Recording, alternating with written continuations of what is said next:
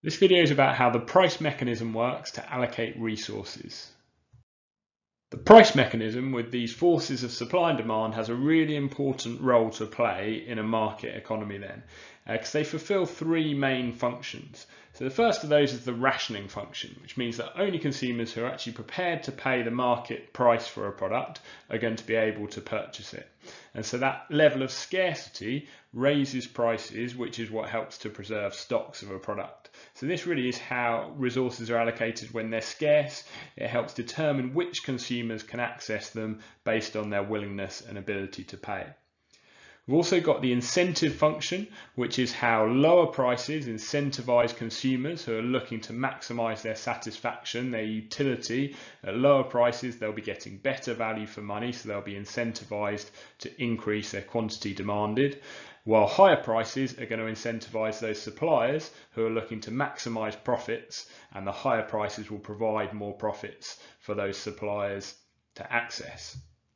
And then we've got the signaling function of prices, which is about helping buyers and sellers to make decisions about whether it's worth, worthwhile to buy or sell a product. So it's really like a message to producers or consumers not currently in the market to enter, or possibly for those in the market currently to leave.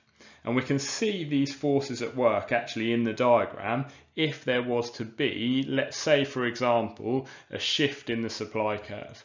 So let's say that producers' costs of production increase, which causes supply to shift to the left. We'll start to see these functions of prices and how they would work to allocate resources. So we would have that rationing function because if the price stayed the same, then there would be a shortage. And the rationing function helps with the increase in price causing a contraction along that demand curve and reducing the quantity demanded, I suppose addressing that shortage. You've also at the same time got that incentive function and the upward pressure on price causes an increase in quantity supplied and that expansion along the supply curve. And so you get that new equilibrium point at Q1 and P1.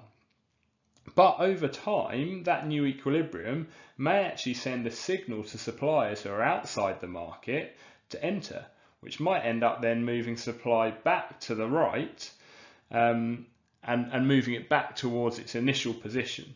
And we draw these supply and demand curves quite statically, but in reality, these forces of supply and demand are moving dynamically all the time, which is, in a market economy at least, how we solve the problem of allocating these scarce resources and how we address that economic problem of scarce resources and unlimited wants. So if that's how the price mechanism works, there are a number of problems or disadvantages with allocating resources in this way as well. And all of these we've actually looked at already through the various forms of market failure. So we've got externalities, which are these external costs or benefits which can cause under or overproduction and consumption. We've got merit and demerit goods, which are goods which are going to be consumed at too high in the case of demerit goods or too low in the case of merit goods, a level. And then we've got public goods, which are goods uh, which the market will go missing because of that free rider problem. Uh, we've got market imperfections, so in the case of monopoly power, imperfect information, factor immobility, we've all seen those causing market failures. And then we've got inequality and how markets can very often lead to a highly unequal allocation of resources. But even with these problems, there is some suggestion that extending the price mechanism could actually be used to improve the allocation of resources. And one of the areas that this has been suggested would be in the field of charitable or voluntary activities. So for example, giving blood, which is something that we don't have enough people doing. We've got a bit of a shortage going on there. So we could introduce a market for this and we could actually pay people for their donations. So the price mechanism there is being used to help by incentivizing donors, which in this case, they're actually the suppliers. They're supplying blood to that market and using the price mechanism and paying them can help to give them the incentive to do more of that.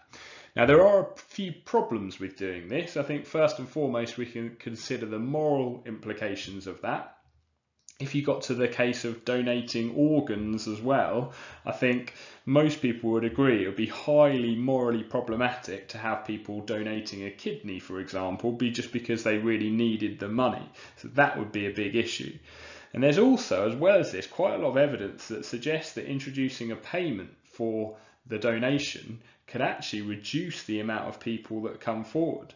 Because most people give blood for philanthropic reasons. They do it to do something good and you introduce a payment to that transaction, so maybe you say you're going to pay them £10 to come in and give blood, you take away this generous aspect and people start to more objectively weigh up the costs and benefits. So that same person who was happy to generously give blood for free might now decide that actually £10 isn't enough of an incentive once that relationship becomes a cold transaction.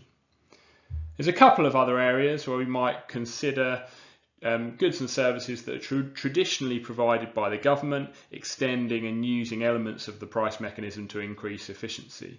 So you might think about infrastructure projects, which are often outsourced to private companies, even though they're still paid for with public funds. And also, we sometimes have welfare support that comes in the form of free meals, and that might be provided instead using vouchers. So again, the market mechanism is actually providing the goods and services, but the payment for them is coming from the government.